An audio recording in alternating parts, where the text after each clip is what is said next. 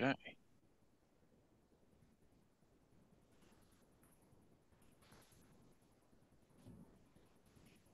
All right.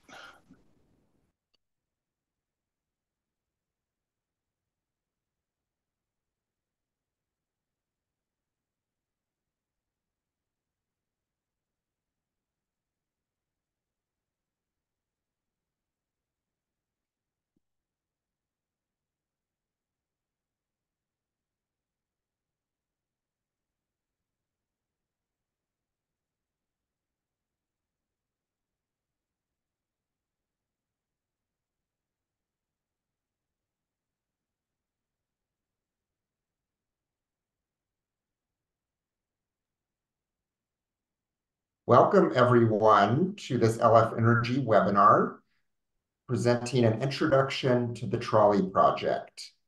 We have with us Christopher Atkins from MISO and Tory McKeag from GE Vernova, who will be taking us through this introductory webinar. With that, I, uh, I will also mention that there is a Q&A feature in the Zoom interface. So if you have any questions, feel free to click on that and type your question at any time.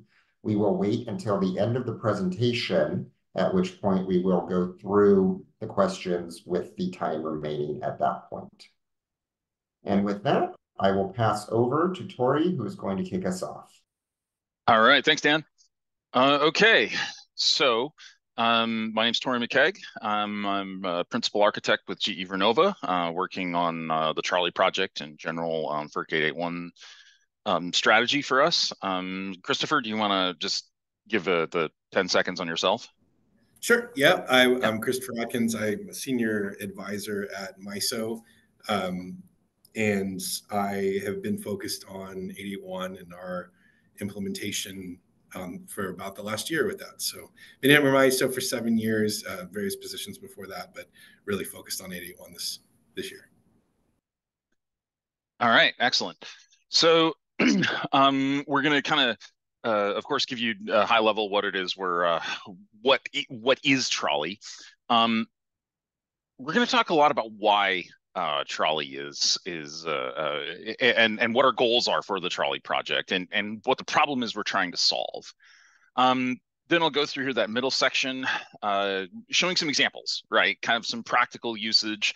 Um, I wouldn't be surprised if this is what a lot of you came here for, right? Is just to kind of a, a walkthrough of uh, how do we use TROLIE in particular. We're going to focus on um, forecast AARs and and how do you exchange them. Um, and then uh, we're going to kind of close out with uh, looking at uh, where the project is going um, and how we'd really love uh, your feedback and for you to get involved. Um, I apologize, Christopher. I don't remember. Is this uh, this one my section, or you jump into the next one? Um, yeah, if you want to continue, that's great. Okay, okay, let's let's do that. So a TROLIE, and we'll break down the acronym, the Transmission Ratings and Operating Limits Information Exchange, uh, is an open source project. Um, and our mission is to define a, an open standard for communicating transmission ratings. Um, and, and you know, kind of focused on AARs, but as as we discovered, there's there's a lot of sort of subtle uh, uh, subtle consequences of what what we're doing with FERC 881. Um, the goal here is to promote interoperability. Uh, and, and Christopher is going to dive into this in, in a lot more detail. Um, what we see is this, this very large problem. Um, there's a lot of different entities that need to exchange AAR data. Uh, and this uh, creates a, it, the, the, data exchanges can be quite complex. Um, the, uh, the, the use cases for all the different kinds of things that need to be able to, to need to be able to interoperate are quite complex. Um, and we aim to, uh, to, to aid with that with this project. So there's a number of things that we're uh, that, that we're building. Uh, the first one, which th there's uh, already quite a bit of work that that uh, that is is usable, is an Open API specification. Um, this is really you know the spec itself and and, and uh, kind of your protocol definition. Uh, we want to define a conformance program to help basically facilitate interop testing, right? Um, we, we want something that that uh, where you can get kind of some early verification that your integrations are working. Uh, and then also in open commons. So this is open source tools, things like uh, SDKs. What it isn't is a compliance standard. Uh, and, and I like Christopher calls this compliance with a capital C. I'm, I'm almost thinking it might have been funnier if you were to put capital C compliance in there. Um, we're, we're not here, you know, enforcing anything. Uh, TROLIE as a project is really intended to be a tool to help you share data. There's no, you know, we can't force you to do anything. Um, it's uh, it's very much an open source model, right? You uh, you you take it or leave it as it helps you. Um, there's also uh, a number of vendor offerings, including ours. Um, so uh, there's no server implementation here necessarily, right? Um, the the intent is for this to be a protocol definition. So who is TROLIE? Um, this is uh, uh, and and and here this is kind of a, a, a nice screenshot that that we've got in here that that sort of shows where all, all of the work in TROLIE is is done in the open. Uh, for those of you who ha have any familiarity with um, open source projects, um, you basically just need to create a GitHub account. It's free, and you can kind of see what we're doing. Uh, so it's all fairly well documented on GitHub. So what it specifies here, and this this diagram is it shows a lot, um, but these are kind of the, the different kinds of interactions uh, that we see between somebody providing ratings and somebody who needs to capture them, um, which is is really anybody implementing a TROLIE server.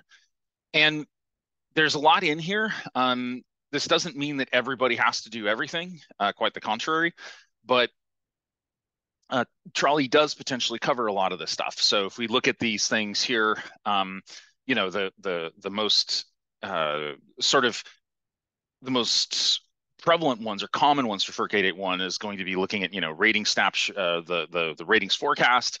Um, but there's also, of course, what you can uh, trying to look at if you're working with a reliability coordinator. Um, what are their actual in-use ratings, which may be different from what you sent. Um, there's also things uh, that we have to cover, such as exceptions, right? There's there's a need for uh, temporary ratings of various sorts. Um, those may be covered in here. And then optionally seasonal ratings. Um, as part of uh, FERC 881, uh, a number of uh, grid operators are finding that the way they uh, the way they share seasonal ratings, the way they operate against seasonal ratings is is changing, and the uh, the seasonal ratings may be shared more frequently than they have in the past. Um, so we're able to cover that as well in TROLIE. Um, within all these interactions, of course, we uh, we kind of wrap a little bit of of uh, best practice around that. So uh, there's a lot here uh, in, on the mechanics, which is what we mean by H HTTP conventions. Um, and then cybersecurity is an area where uh, we have kind of a, a, limited ability to play in the TROLIE project because we're we're interacting with people's existing infrastructure and um, we want to kind of value interoperability, but there are a number of places where uh, we can recommend some best practices and, and be somewhat opinionated. So with that, uh, Christopher, I will uh, kick it over to you to uh, talk a little bit about interop and the reliability problem. Great, thank you. Can you um, stop sharing? It's not allowing me to share. Oh, it doesn't let you take it? Okay. Yeah. Go ahead.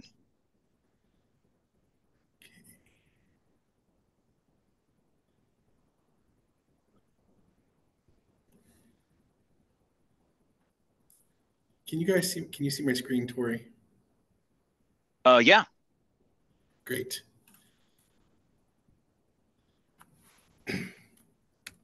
okay. Um, so the story here really begins with, you know, uh, you know, the, the, TROLIE project's focus is interoperability, and and the use cases that that Tory um, sort of highlighted here are really around interop. Like, there's a lot that a commercial product needs to do um, as a full solution to 881 in the context that of a say a reliability coordinator, an ISO, or a transmission operator that that aren't part of the TROLIE specification. Um, and so we really want to talk about in this uh, webinar as an introduction to TROLIE, like what those use cases are and how they fit into um, the kind of post 881 implementation world. Um, so I, I availed myself of one of these, you know, new uh, AI image generators. It's um, it's it's sort of best not to name, uh, you know, the protect the innocent. so um, these characters aren't meant to be glib. They're really just uh, meant to be stand-ins so that we're not calling out uh, folks in the, you know, like say the Eastern Interconnect um, and you know without their permission. So I wanted to um, to give you this slide just to kind of establish the characters and their names are meant to be sort of a mnemonic. Um, it's not a huge deal, but uh, we have an ISO and an RTO, Isabel and Rita, and then um, an external like non-FERC jurisdictional uh, reliability coordinator named Rich, and um, Opal, the transmission operator, Remy, the the REMC, the um, and uh, Owen, the uh, is a transmission owner. Um, so this is a, a one line. Uh, those of you that are familiar with these will recognize this is missing a lot of important detail. It's it's really not meant to be um, like like you know a, a, topology represented that a power systems engineer might use, but it does uh, give me a backdrop for a, an important vignette. And this is a a, re, a very real uh, like topology, a real situation the different colors are going to represent different ownerships of this overall facility. And um, I'm sort of throwing us all in at the deep end here. So the green is owned by um, Remy, and the REMC, and, and Opal owns the orange bits. Um, uh, the Rich owns the blue bits, and uh, Owen, the transmission owner, owns this this pink bit, maroon, in the in the middle. Um, and then, of course, we've got Rita, the RTO, and Isabel, the ISO. So one facility, and we've already got three, five, six entities involved. Um, and, and now, like where historically, you know, they kind of call each other up and say, what's the seasonal rating when you transition? Um, and, and we'd sort of figure it out statically, more or less. Now we've got this hourly mandate um, so, and we're, we're, we're going across RC boundaries too, right? We've got an, R, an RTO and an ISO, um, and, and they've got uh, reliability services agreements with their respective um, stakeholders. So how do we coordinate all this? Well, let's let's identify sort of the kind of obvious things. So Remy submits um, the most limiting ratings of their owned uh, equipment on this facility to Rita, and uh, Rich does the same thing with Isabel. Um, and then Owen uh, is sort of a financial only entity in this in this vignette. Um, so they're they're not you know involved in day to day reliability operations. They delegate that to Opal, and Opal then um, has reliability uh, services uh, agreement with with Rita, and so submits to that. And then of course Isabel and Rita need to exchange um, once once you sort of determine this, um, like which is most limiting on their respective ends, so to speak, um, then you have to sort of find out what's the most uh, limiting global. And, and of course, they have uh, different emergency durations for their emergency ratings, and um, they maybe change seasons at a different time. So, you know, we're just highlighting some of the, the complexities here. And I want to, well, this is when we, uh, so very early on, MISO realized that because we have situations like this, we have this need for uh, something like a clearinghouse. And, and the concept is that the RCs would um, determine the most limiting regional rating from the local ratings that are given to them uh, for the, these various equipment owners. Um, and the same thing would happen at the other RC, and then they would exchange. And what this animation really is meant to do is kind of highlight that this is an eventually consistent uh, problem and that there's a lot of exchange uh, around one set of ratings that, that needs to happen. Um, and that the, you know, if we're all going to rely, uh, operate to the same limit, which we must, um, then there's a latency to that uh, that's just, you know, nature of distributed systems. So that's the clearinghouse concept. And uh, I want to, uh, to go on to say, like, you know, that isn't the common case, right? Everybody knows this is, there's a few, you know, I won't say a few, but like it's hard to quantify exactly how many of these cases are. But even in the simplest case, um, things aren't exactly straightforward. So uh, in this, where Opal is submitting, Opal the operator, Rita the RTO, right? Is, are, they're submitting, and they need to exchange these ratings, and um, they have different responsibilities per, um, you know, their their roles under FERC and NERC uh, uh, compliance guidelines, and uh, as well as their their tariffs um, and agreements. But you know, sort of some for for our purposes, some basic uh, things to call out are the you know we've got to, the Rita's got to use the uh, real-time forecast and seasonal ratings that you know you know and if in the case of Opal having you know being the sole owner of a facility, right? This is the simplest case that we're talking about where we don't have all that other coordination. Um, they've got to get those values and then use them in various uh, operations uh, processes like in forward processes um, and then you know they potentially they have the role of determining limits based on stability analysis for that facility. Um, and, and different uh, RCs are going to, you know, going to implement that in different ways. But that's part of that um, that responsibility. And then Opal, of course, has to has the ratings methodology for the facility, their owned equipment, and um, they need to determine at least hourly what the the real time and forecast ratings are. And those of you that are familiar with 881 know that um, you know, that forecast is 240 hours from, uh, and, and that is, needs to be updated every hour, um, which is, represents a, a, pretty large amount of data and sort of is uh, not really appropriate for our, our um, uh, uh heritage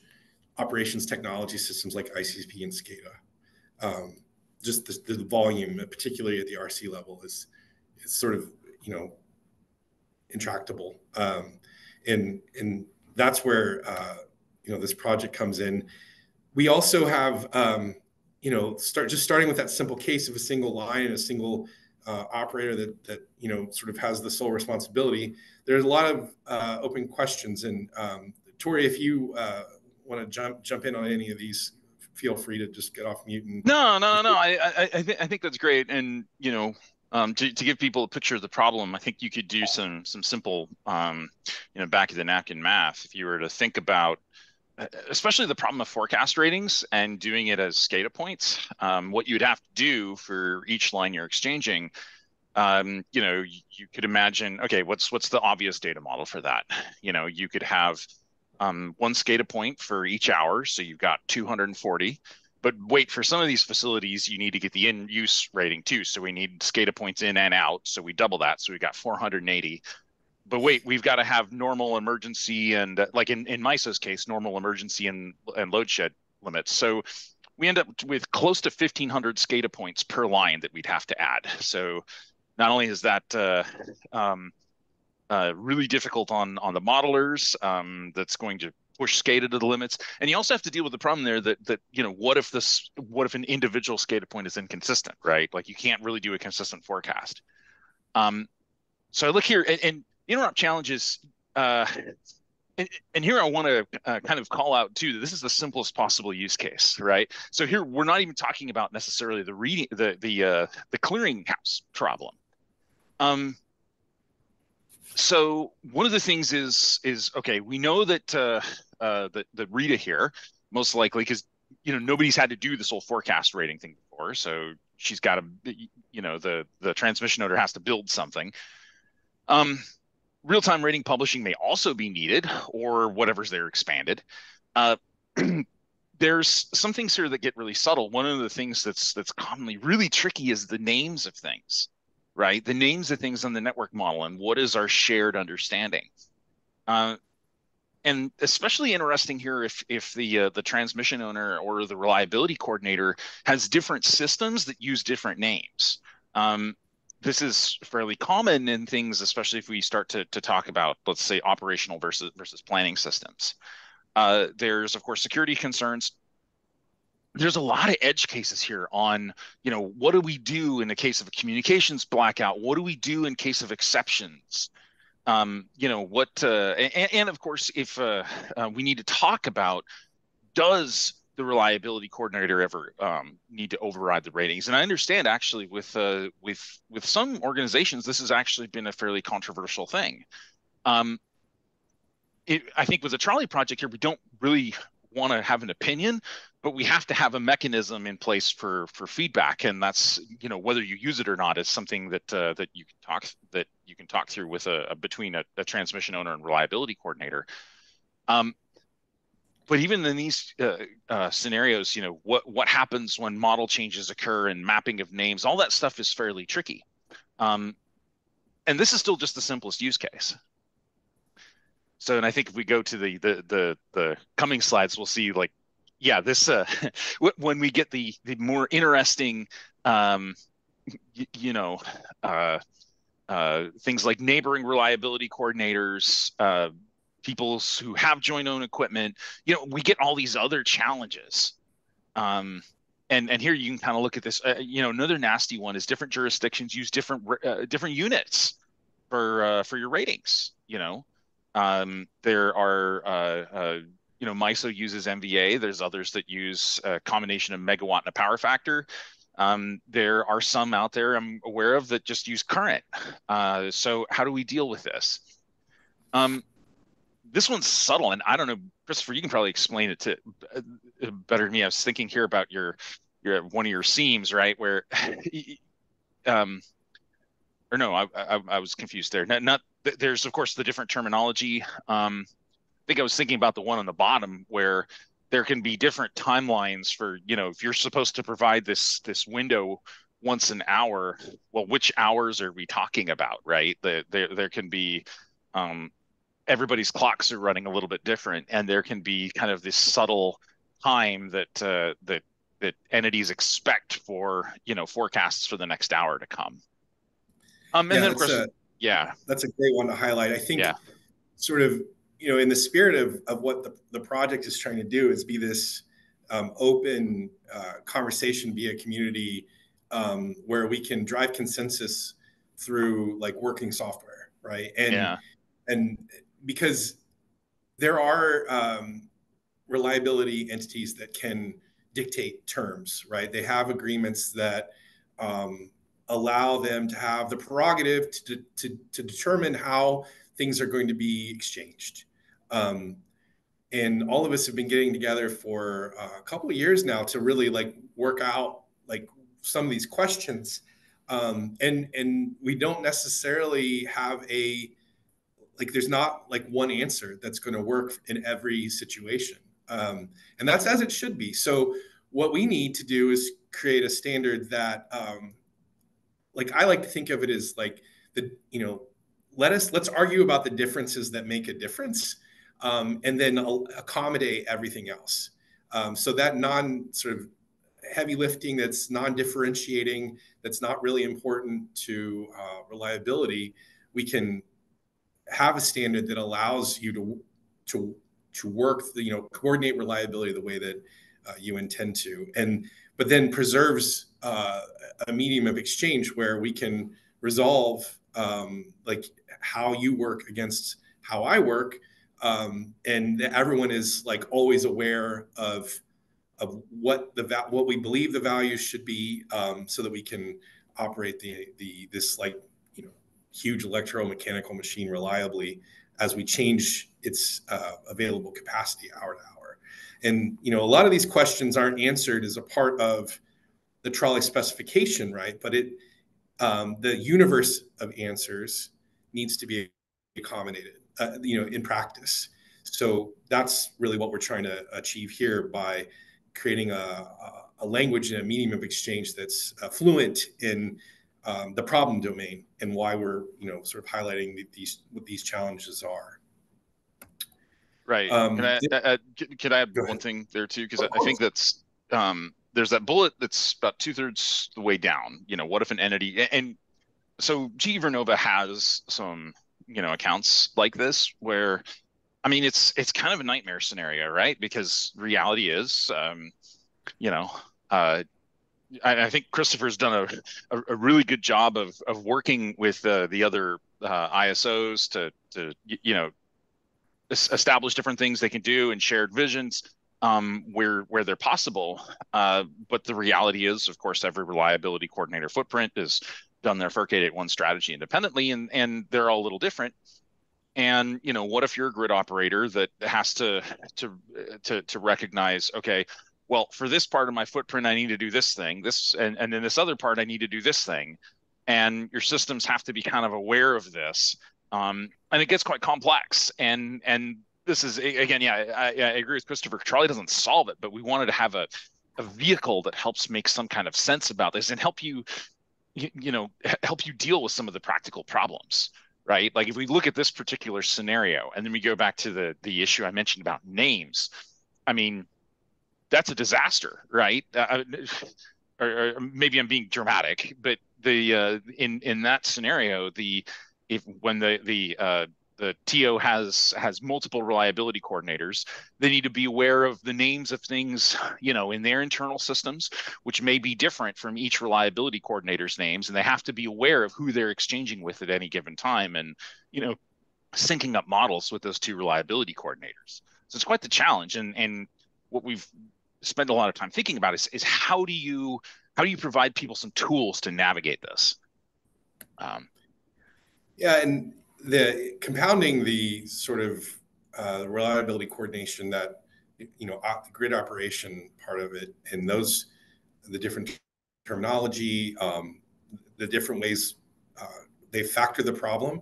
You also have uh, a sea of vendors and this is in a very much kind of a net new uh, not entirely net new but um, the kind of ubiquity uh, that's implied by the mandate from FERC like means that we're there are new systems and and and augmented systems that need to come to market.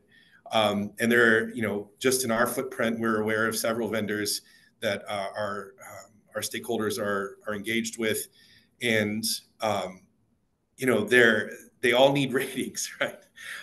all of these like uh, operations need ratings, and it really, you know, it's the, the, classic like you pull the thread and you get the whole sweater. Um, so we want to make sure that, uh, you know, we believe that by defining an interoperability specification, we're uh, removing a lot, we're de-risking a lot of the system-to-system integrations, um, you know, by having a community that where you can, you know, go and ask a question like, what is this meant to be, right? And do it in a more collaborative, open space than like the vendor silos that um, tend to uh, exist in in the industry um, and it's you know it's just a it's almost a, a bare necessity um, because uh, you know we have this now like very frequent interoperability uh, pulse like every hour. We're we're changing all of the the, the limits that we're using on uh, on the grid. So um, it sort of falls out that you need you need to solve make this uh,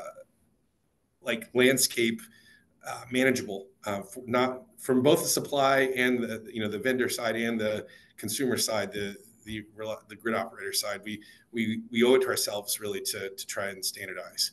Um, so, uh, how can TROLIE help with that?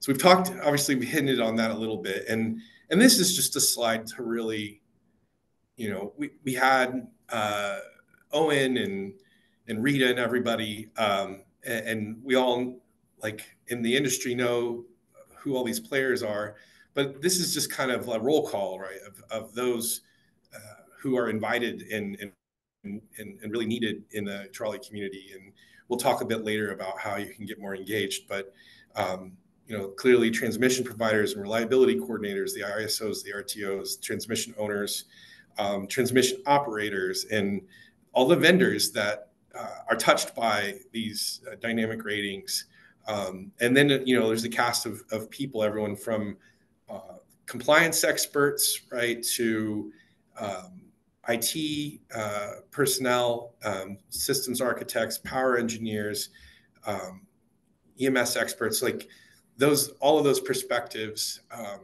are going to add value to uh, this, this interoperability specification. And I want to, um, actually, let me, yeah, let me give uh, control to Tory. He's going to walk us through the rest of this section and uh, talk about like how you can um, might, do I have that right, Tory? Let me make sure. Yeah, yeah, right. yeah. Let's let's do the what here. Yeah, yeah, yeah. So it looks like you need to unshare, and then I can take it back. There you go. Okay. One second for me to awkwardly fumble around with Zoom. Okay. Good. All right. So yes, um, we kind of went through that. So uh, the specification is defined with a technology called OpenAPI. Um, this is a, a, a pretty standard, typical thing for for what are called REST services. Um, so uh, if you're not familiar with the technology, basically we're just doing everything over HTTP or really HTTPS. It's it's JSON formatted over that. Um, this exchange is divided into client and server roles, um, with the server typically being a reliability coordinator, although it really doesn't have to be, right? It's it's uh, um, anybody who want, needs to receive ratings and, and clear them. Um, there's tools for really just about any. Um, if you name a programming language, there's probably a tool for for it.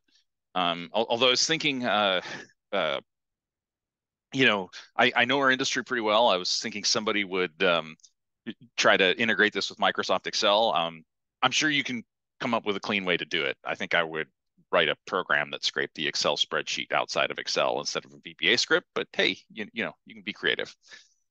Um, the tools are all available online. So uh, what I'm going to do here is walk you through um, a number of these links uh, and and what's in here. So uh, there's there's a, the the main site has got uh, all kinds of just kind of documentation um, around concepts and and uh, and we've got some some usage examples. Um, the, there's a formal spec and the, the, spec is visible in sort of two forms, right? One is, um, and I'll go ahead and just demonstrate this. Uh, if we go to uh, yeah, yeah, you're fine. Um, the Open API specification, this is a YAML file. Um, you can plug it into tools. This isn't really intended for human readability. Uh, if I go look at uh, this link here, it's basically the same thing, except generated as a website. So th this is the formal, you know, what are the different things that you can do here? So um, I see some questions we'll get through later, but like if you wanted to look at, you know, how do you submit uh, forecasted ratings. Um, this uh, uh, this is what it looks like here, right? And it shows some some examples here in the the right hand pane, and there's formal descriptions of what all the parameters are.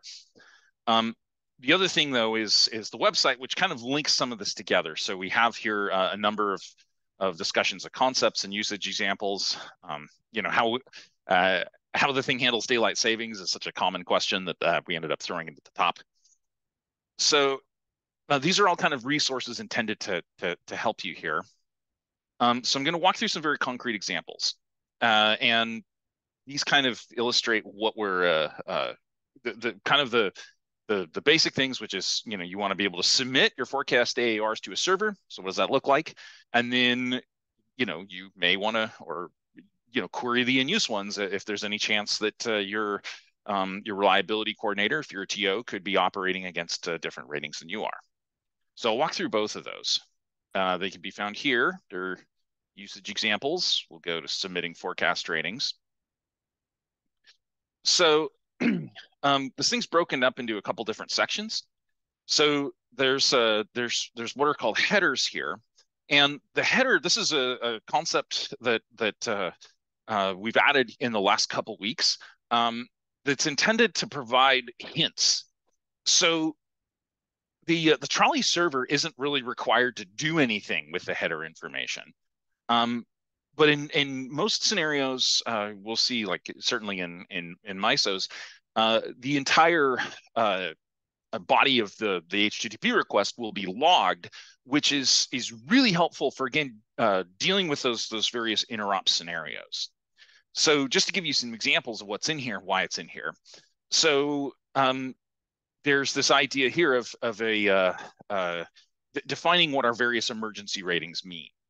So to use MISO as an example, uh, MISO has a, uh, a, continuous operating limit um, and then an emergency operating limit and a load shed operating limit, the, defined in their, uh, their operations manuals and there's sort of certain assumed meanings of wh- what does an emergency rating mean so here we're defining what we think that means.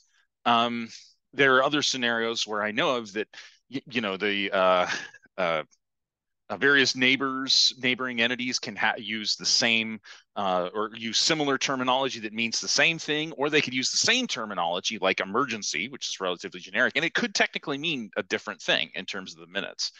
So this is kind of useful for knowing like, hey, when you said you're providing the emergency ratings, what did you mean by that? Uh, the other tricky thing here is how we deal with names. So uh, there's a lot of possibilities uh, as as as far as how this is handled. Um, we tried to make this uh, you know more generic so that that uh, that the implementers of TROLIE servers have a lot of of options. Our general philosophy is that there's a primary resource ID, um, whatever that's going to be, um, whether it's uh, uh, in in the case of these these rating proposals here, um, a, uh, a, a, a line segment ID um, would be you know typically what we're talking about. Um, but then you know you could have kind of some alternate uh, names that we know of, and this is sort of um, backed by the the IEC CIM concept of of having separate name types. So here you're stating, you know, hey, what are the other names I might know this thing by? And this is very useful when you're you're debugging a problem. Know, okay, what exactly were we talking about here? Um, so then we look into what you provide for the ratings. Uh, there's going to be, you know, the, the resource ID, whatever that is, uh, a list of periods. And here we explicitly define the start and end. You know, um, we went through a couple different iterations of this where we kind of talked at first about, you know, hourly things and, and so on and so forth. Um, the, the, the reason for this is, uh, so technically the FERC order says at least hourly. Um, we're also being uh, very explicit here about what period we're talking about, and this format is daylight saving safe. Then we, we state here uh, the continuous operating limit. This is um, kind of a common thing. Every uh, every grid operator we've we've worked with has this this concept of a normal rating, um, and this is kind of what this is meant to represent, right? It's it's uh, it's somewhat special in the sense that it doesn't have a duration necessarily associated with it, right? It's assumed to be continuous. And then you have your set of uh, emergency operating limits, right? And what they are. So here we've got the one emergency rating that we've defined above, and you know we're saying we're providing a limit in MVA. Uh, good stuff. So, and then this, of course, this array continues for each additional period. Uh, so to send this thing, um, and here we provided some examples um, and and here this this leaves off the the authentication because this could be very specific to your reliability coordinator. Um, but it shows you know you could actually execute TROLIE with just kind of command line utilities. So curl is a common thing. It's um, if if you've uh, uh, if you're running a linux machine you probably already have it um, or or a mac even most likely. Um, on windows it's a free uh, download tool and you can just take a file here. So you, we've slapped all this JSON in input.json and you run this curl command to send it to this TROLIE server. And there it is. We've, uh, we've updated our ratings. So uh, one thing I also didn't mention here, actually, I'll come back to what a proposal is and why it's called this. Um, so this is how we submit ratings. Uh, likewise, you can do a similar thing to query back what's in use. So if I go here and, and look at um, this here we start with a curl command and say, all right, I want to go grab um, all the ratings for my monitoring set, which I'll get to what monitoring sets are here shortly. Um, and this is grabbing specifically in use ratings, which is is a different, a, distinctly different data set in TROLIE than than uh, uh, the the ratings that you you that, that a, a TO would provide to the uh, the TROLIE server. Uh, so here the the uh, the structure is very similar. So we've got um, a header concept here, which gives us a little bit of metadata. You know, when was this thing updated? Um, who generated it?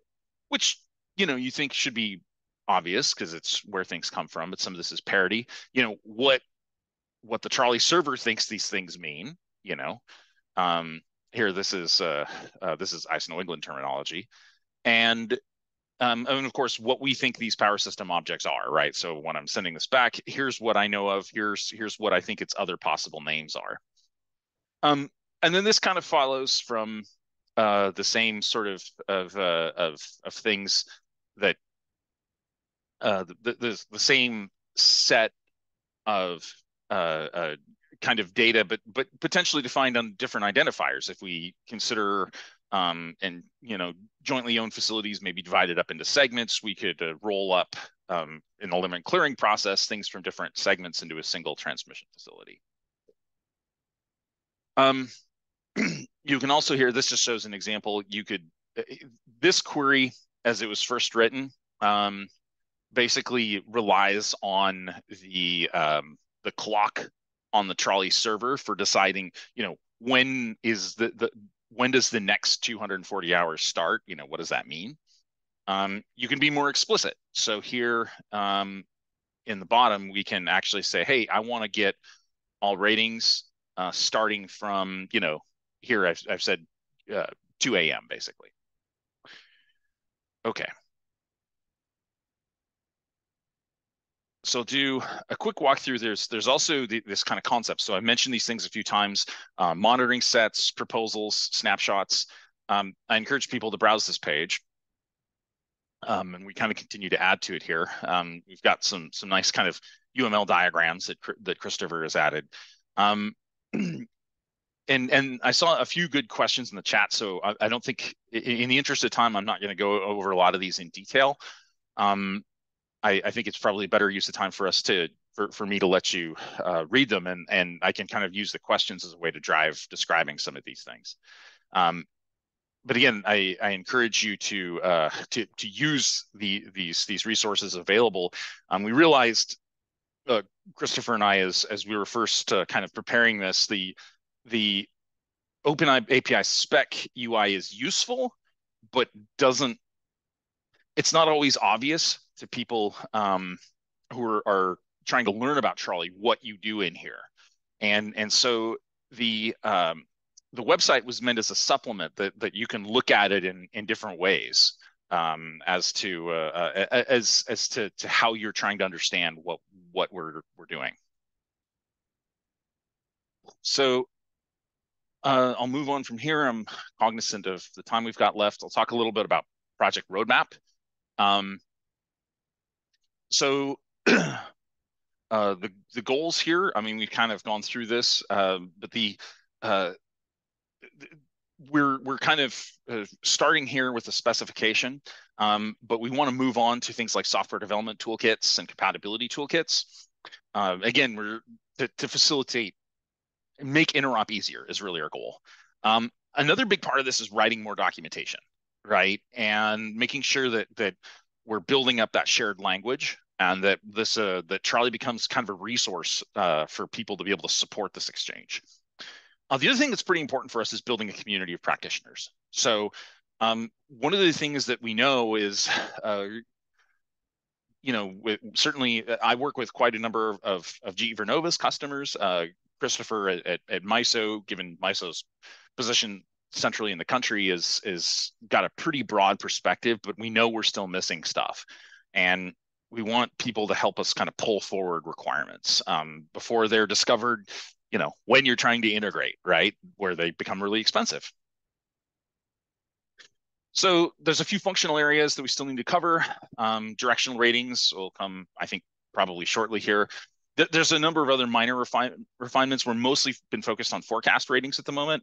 Um, so th- but there are some things like real-time ratings exceptions are already there in the spec and i think th- those need just need some refinement uh, seasonal ratings i'm not happy with where we are in the model with that um, one of the big ones uh, is something we call I don't know. I think the peer.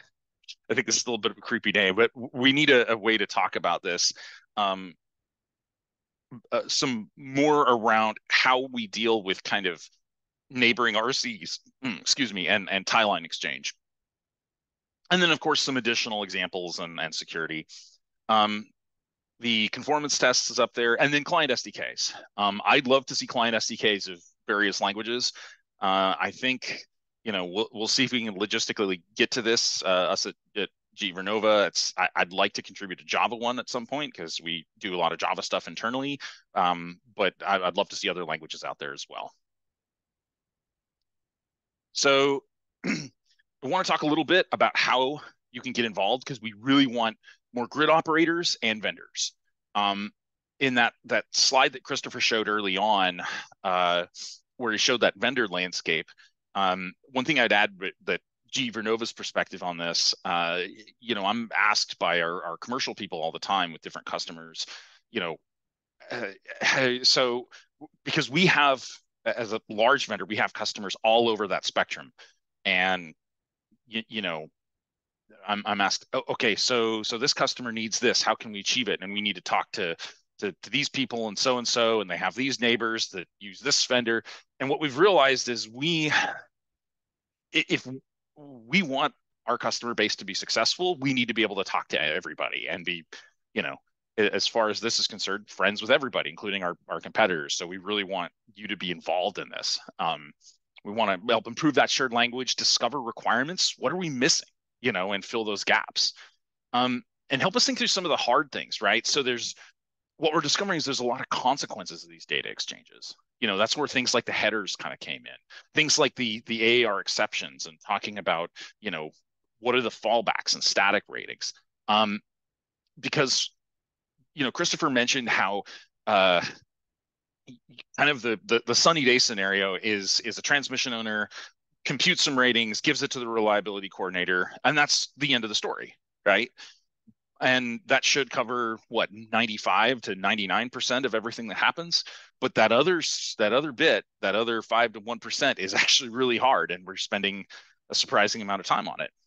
Um, there's also, you know, where are there places where there's mismatches between the technical needs? Because you know we approach this uh, um, christopher and i both have very much backgrounds as software developers.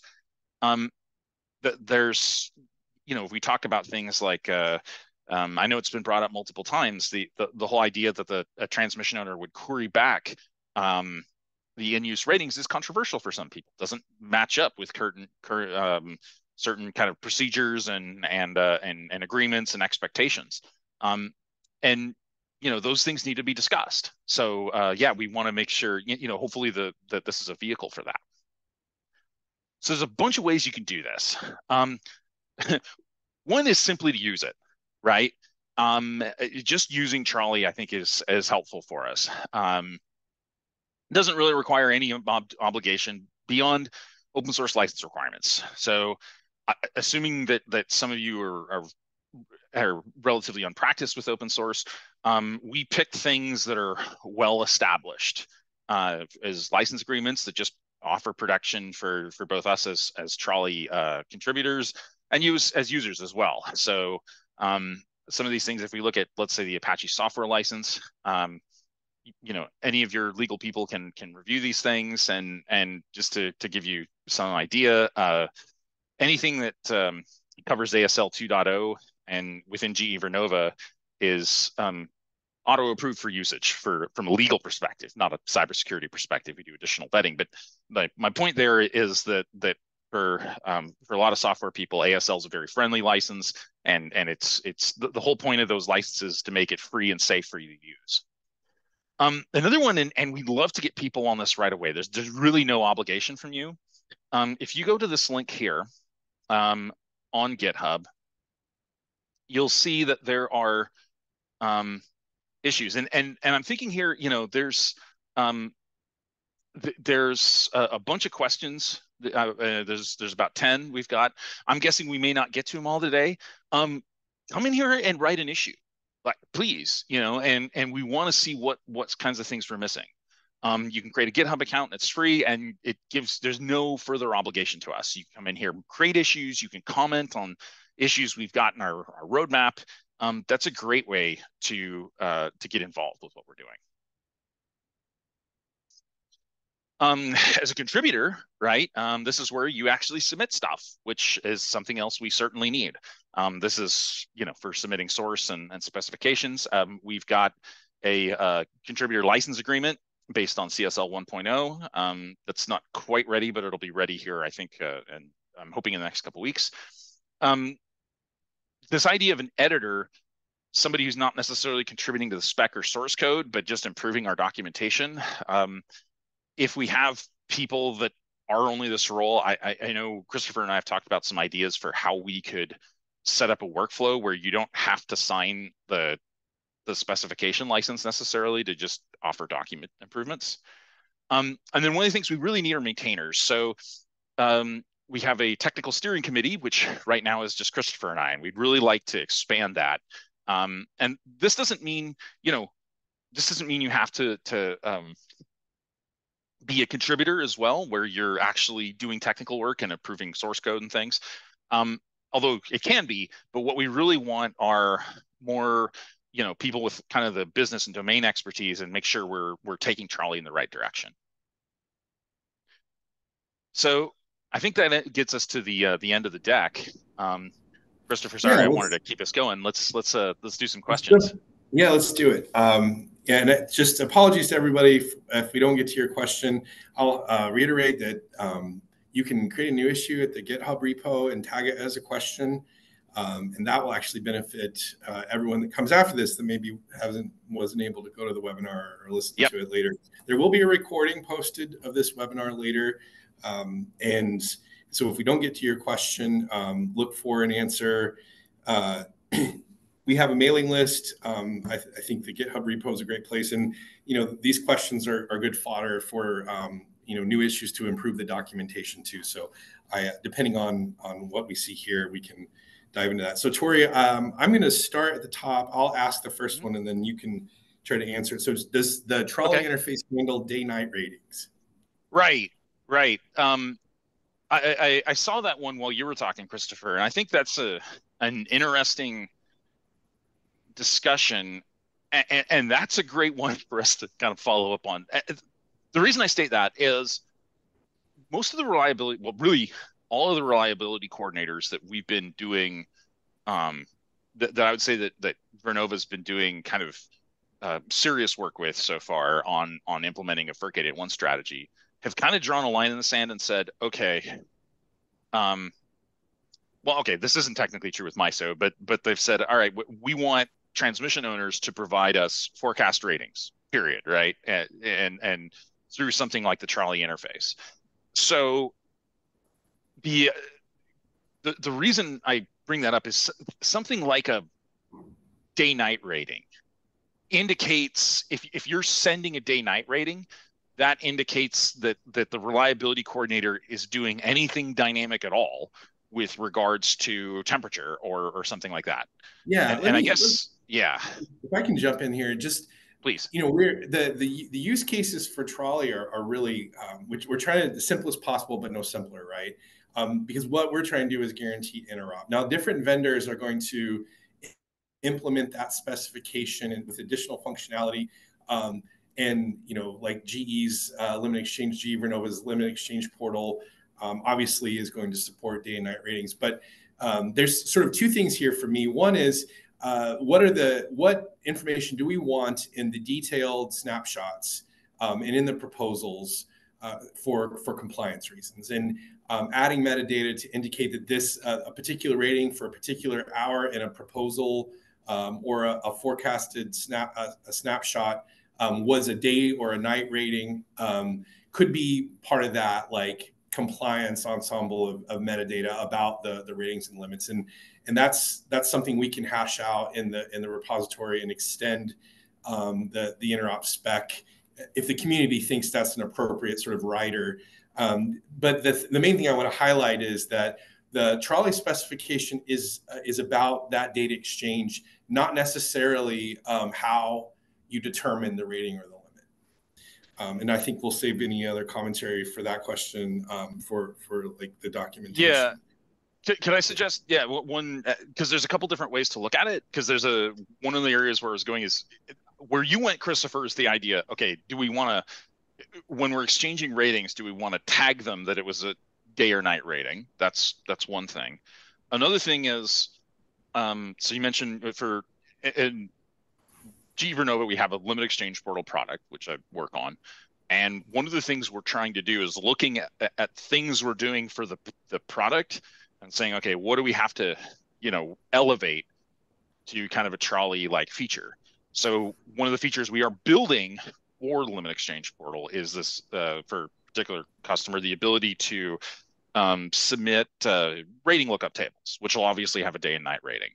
And so far, we have a fairly minimal ask for that kind of stuff, right? It's just the the the the, the one customer, but I, I've kind of started to wonder, like, is that a different that whole exchange of of lookup tables as such a common methodology for computing limits is that something that should be in the TROLIE scope? And right now, I don't I haven't seen enough push for us to to make it go there, but that's that's an area where you could certainly change our minds, right? And, yeah, and I think that's, that's... Uh, you got to submit issues and and kind of make a case for like what problem are we solving. Right. So I think that that broaches two topics, and one um, dovetails nicely with the next question. Yeah. Um, is so one is you know there so so MISO is going to uh, utilize uh, the limit exchange portal. It's an implementation of the, it implements the TROLIE specification, but we're not going to, uh, we're doing real time ratings primarily through ICCP, right?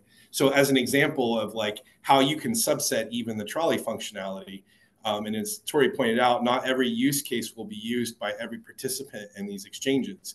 Um, so uh, it may be the case that we could add, uh, a, you know, extend the, the TROLIE sort of set of use cases to include the exchange of uh, tables, uh, temperature tables, lookup tables. Um, but that could you could still be compliant with the real time or the forecasted profiles in that conformance program um, without implementing that. So it's a community and and we, we need to scratch our own itches and, and, and put it out there. Uh, so yeah, like as Tory said, let's make the case for that. Um, you know we we would want to just work out and it, it could have a lot of benefit just to standardize on like what that exchange looks like.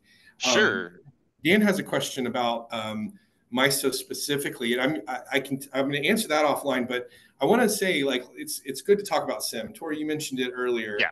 um, and how uh, we sort of borrowed power system object and a few other sort of idioms from CIM but um, what i will say i think and i think i speak for you as well that um, we're sort of CIM informed, but not, and I'm talking about TROLIE here specifically. Yeah. We're CIM informed, but we're not looking for any kind of CIM compliance.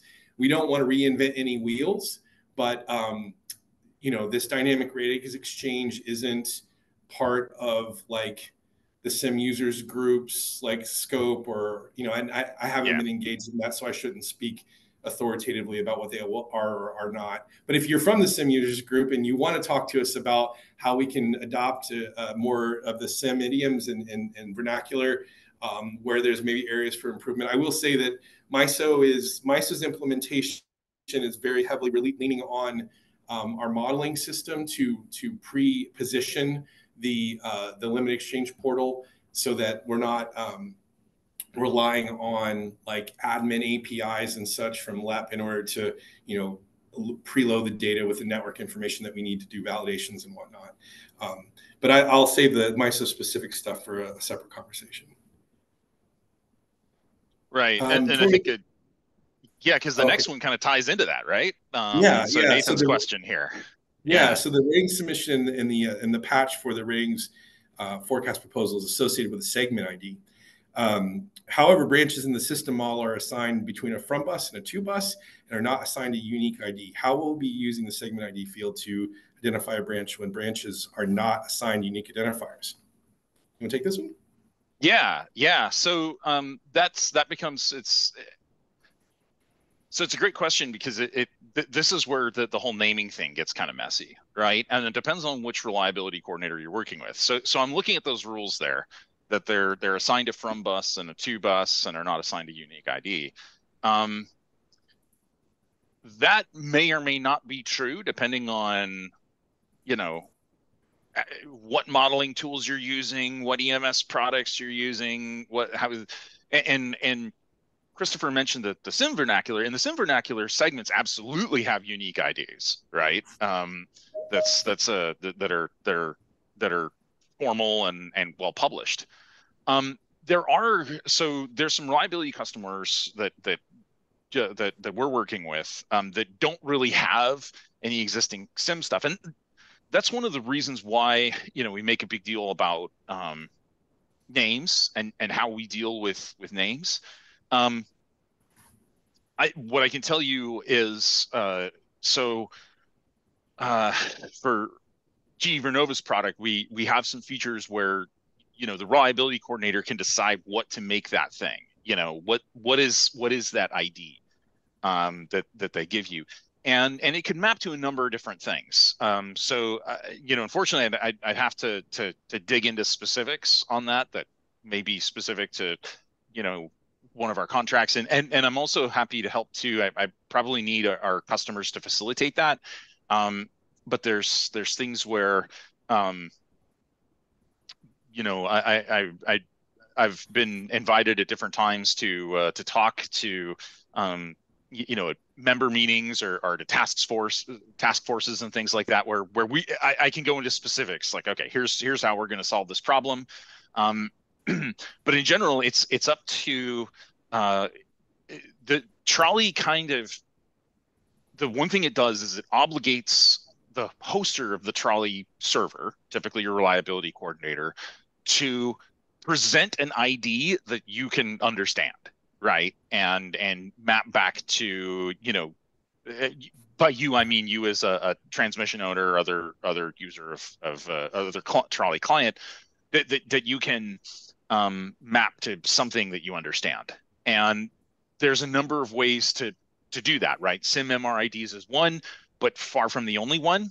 Um, just you know, those of you who are familiar with GE's uh, EMS product, um, there's there's sort of a hierarchical identifier system um, that is uh, you know obviously predates work with CIM and and in some cases that we can you know we can use that just as well um, there's a number of other options there, but uh, but yeah, that that's um, part of where you know th- there's sort of two parts to the answer, right? One is is um, the the TROLIE specification kind of says, okay, it has to come up with something. We've done we've added some flexibility for that in the GE product, but um, the other thing is we can use that header information when we're debugging this, and if we have problems with it, so that, uh, that we can kind of tie you know add a little bit more about like what are we talking about here um, and so if i think about things like line segments you know we might have a, an alternative name that is just a um, just the names of the from and to buses if there is no unique id like glued together as a string or something like that yeah. So we're at time. We're a little bit over. Yeah. Um, thank you, everyone, for your questions and your participation. I apologize we weren't able to get to all of them today. Uh, we will make an effort to to uh, to get back to them. I I think that will probably be uh, in a follow-up email. I'll need to, to work with Dan on that. Um, Dan, do you have any final uh, comments or, or, or anything before we end this?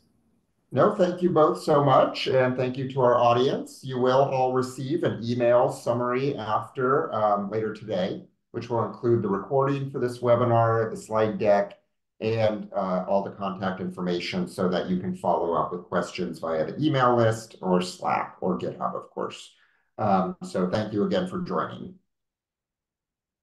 Yeah, thanks. And and sorry we didn't get to all of these. Please uh please post some of these to GitHub and we'll we'll take our time with them. Um, thank you. Yep. Thank you, Tory. Thank you, Dan. Thanks everyone. Have a great day. Thank you all.